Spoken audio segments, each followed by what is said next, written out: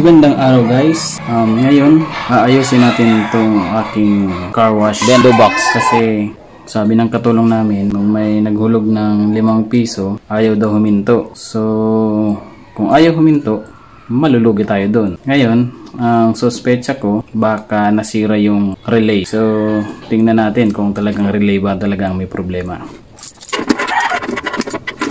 Bali ito pala guys, nabili ko sa online. So, di ko talaga alam kung paano ito ginawa. Di ko alam kung anong ginamit na relay. Pero suspecha ko, relay talagang nasira.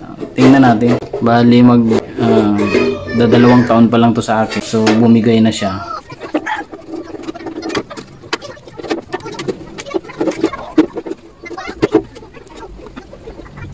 So ito guys, tingnan nyo. Um, isang relay lang ginamit niya. So talagang talagang masisira ito kasi ang lakas ng kuryente ng pressure washer mga 1400 watts. So hindi talaga kayanin ng isang relay. So ang gagawin natin ngayon guys para mabilis papalitan ko na lang muna ito. Pero yung aking gagawin ay i-combine ko yung dalawang relay para kayanin niya yung kuryente ng motor. Ginawa niya kasi dito um, isang relay lang ginamit niya ito lang. So kung pinagsama niya yung dalawa maglalagay pa tayo dito ng isang wire dito at saka dito at pagsasamahin natin. Siguro hindi agad masisira yung relay kasi dalawang relay na sila. So tanggalin muna natin to ito pala yung supply ng 12 volts. Tanggalin natin ito. Yung sa coin slot. At ito yung sa LED na timer. Meron ako dito binili ko sa online. Tingnan natin kung pareho. Parehong pareho. So palit muna natin to. Kasi sira na to hindi na natin pwedeng i-combine. Kung itong gagamitin kong isa sigurado masira din yan. So ito na lang. At pagsasamahin ko yung dalawang relay.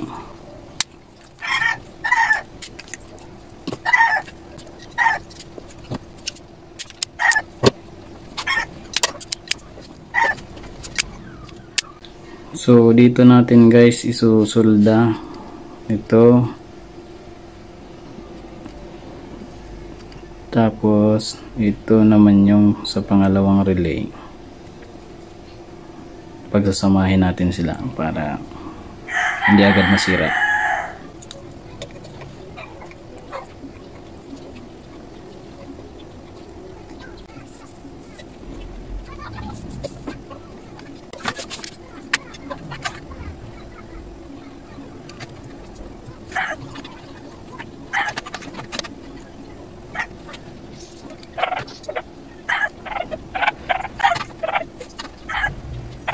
So ito guys, i-connect lang natin to kung saan din ito nakakonect.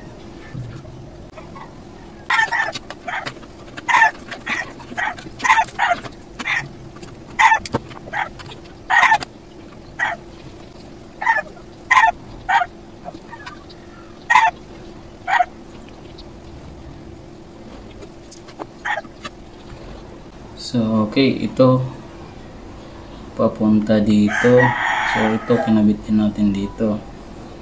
Ngayon ito naman papunta dito. Ito kinabit naman natin dito. So magkasama na sila.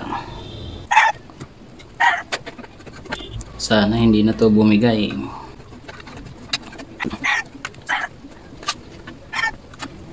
Salpak natin yung sa LED. At itong sa coin slot. Saksak na natin. Testingin natin kung gumagana na. Ayos. Try natin maghulog ng barya. Hulog natin tong 10 tingnan natin kung ilang minutes.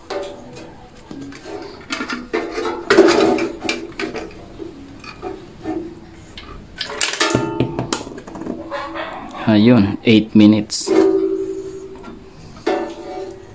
Ang haba ng time. So, adjust na lang natin dito para makuha natin yung tamang oras. At ito, gagamitin natin ulit ito. Uh, gagamit tayo ng yung relay na ginagamit sa kotse. At ito ang gagamitin natin para pang heavy duty. At pag bubuo din tayo ng ganito yung mga kailangan gamitin para mas lalo nyong maintindihan kung paano ba gumagana yung timer ng car wash at maging sa pistonit din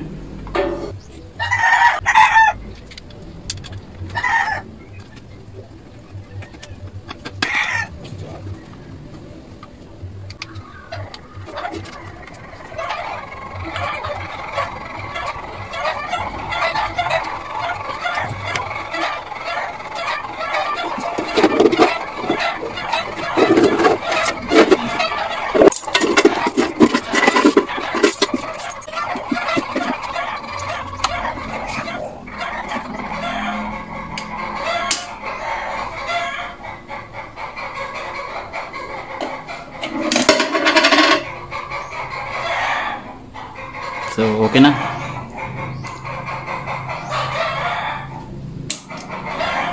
Check natin kung tama ba talaga yung wiring ko.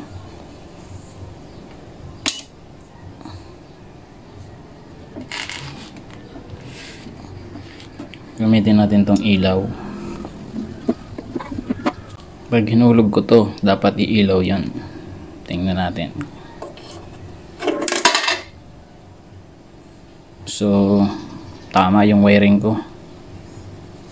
Tama na din yung timer. So,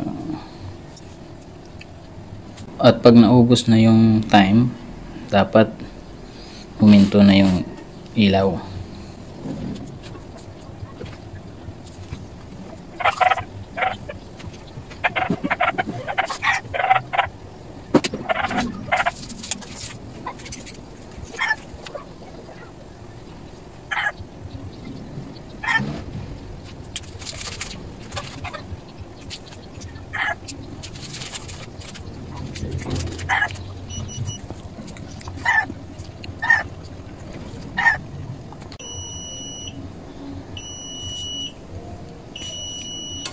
ayun nawala. Sa mga hindi pa nagsusubscribe subscribe nyo si Dun Pakondo so maraming salamat. Subscribe and hit the notification bell para lagi kayong updated. Thank you. Thank you for watching. Drop a like, leave a comment and don't forget to subscribe and hit the bell for more updates.